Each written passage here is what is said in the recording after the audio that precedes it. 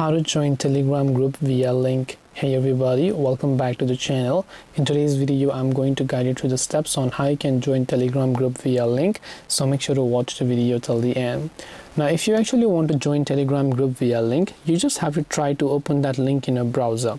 So you don't have to do anything just open any browser and try to paste the link and hit the enter button on your browser. It will directly give you a pop-up that says continue to telegram so you can tap on continue. And then you'll be redirected to that group page over here. And once you've done that you'll find the join option next to that group over here right?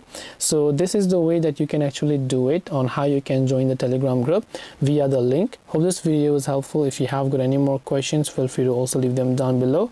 Thank you for watching till the very end of this tutorial and see you soon in the next video